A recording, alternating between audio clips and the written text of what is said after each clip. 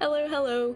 My name is Snail Legs, and today I will be redrawing old art from 2018. Mm.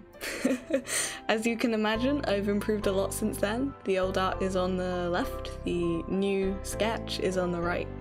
Um, we are going to travel back in time now to see my sketching process in the format of a time lapse.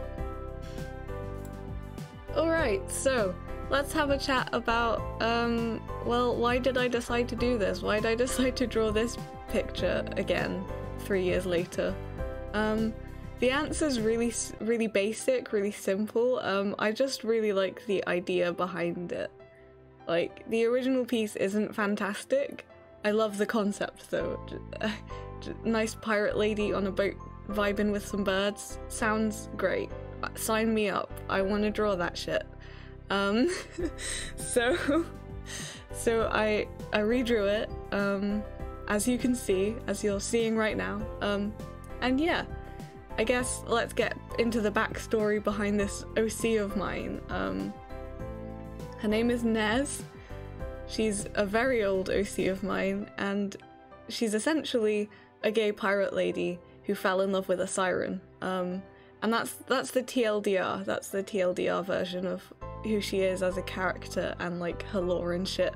Um, but yeah, I, I I really wanted to draw this again because I knew I could do better, and if I do say so myself, I I did do better. I improved a lot. Um, yeah.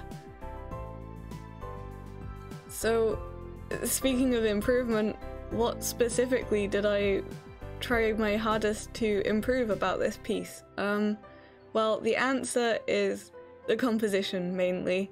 Um, my main pet peeve with the original is the composition. Like, it has all the elements of a nice drawing, has all the elements of a pretty picture. It's got like the birds and the character and the, the background and, and stuff. Um, there's nothing really tying those things together though.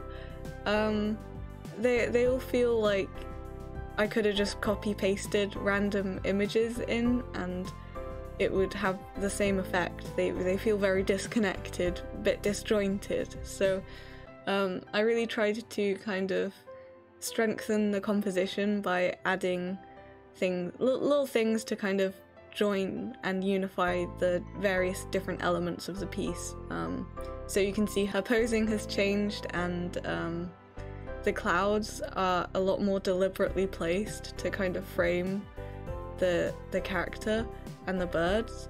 Um, the birds are now like actually in contact with the character, uh, and the boat and the character they both have the same perspective now. um, that's a big one. If you look at the original, um, you it looks like you're looking up at the boat and down at the character, and that is that just the maths doesn't add up. That's not how perspective works, um, sadly. But yeah, so those are that was the main thing I I was working on improving, like my main focus when I was drawing. But it did lead to me kind of trying to improve the other elements as well because everything adds up to create the composition, if that makes sense.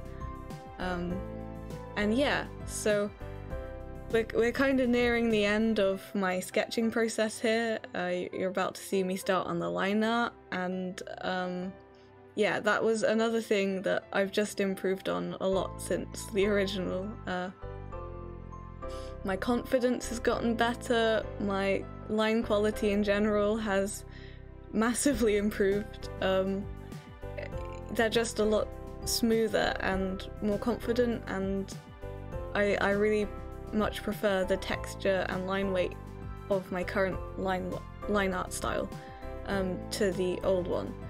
Because yeah if you look at the old one um, unfortunately a lot of the lines they're very pieced together. You can tell it took me multiple strokes to draw one single line. Uh, and there's there's not a lot of use of pen pressure. The texture's kind of fuzzy kind of boring not very crisp um, and yeah, I I just tried my best to do a good job lining this piece and there were a couple details that I wasn't quite sure how to depict, how to like finalize, but I think I got there in the end. Uh, I'm not not a big fan of the way I did the um, neckline for her shirt, but I can improve on that next time, you know? I'm sure I'll want to revisit this again sometime. Who knows? Um, yeah. So, speaking of the neckline of her t shirt, you may have noticed that I did, in fact, redesign this character's outfit. Um, she's now wearing more interesting clothing, in my opinion. I just, I like it more. um, I couldn't really make much sense of the outfit she had on in the original, and I I felt very strongly that I would be able to make her look more piratey if I changed her costume. So I just kind of quickly re- redesigned her costume, uh, trying to tie in some elements from her many previous costumes and outfits. Um, I don't know if you saw, but in the sketching phase, I had a bunch of references of old art of her up up top of my canvas, and yeah, it it made kind of like reinterpreting her design a lot easier because man, she's been through so many redesigns already. um, I was able to just just borrow some of my old ideas. It it worked out great, in my opinion.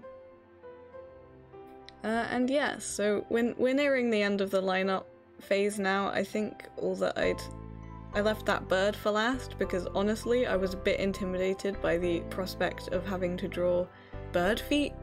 Like you can see even in the original, I didn't draw bird feet because bird feet are difficult to draw. um, and like the fool that I am, I, I have a very bad habit of just drawing everything from imagination. Um, and I, I've gotten good at it, but sometimes, you know, it helps to use actual reference images. That's my tip for you. You don't be like me. Uh, do as I say, not as I do. Um, use reference images when you're drawing, it will help. I, I promise. Every time I've used a reference image, I've been like, oh, that made everything so much easier. Uh, why don't I do this all the time? And then it it will then after that be like quite a while until I draw with a reference image again, and I'll have the same the same reaction. Um, but anyway, that's a bit of a tangent. Um, yeah, we're we're we're we're in coloring now, so I I'll, i want to have a have a little chat about the colors. Um, and if you look at the original, colors are a bit muddy. They're they're a bit muddy, and um, the shading and lighting doesn't make very much sense at all. Like it's it's quite you can tell I wasn't very confident about it because I did this thing that I liked to do back in 2018 where I'd shade something, decide uh, there's something wrong with this, but I, I've, I've already drawn it. I don't want to figure out what's wrong with it. Um, so I would just kind of like use the airbrush, use the airbrush eraser, and I'd fade out my shading so that it would be less noticeable what I've done wrong.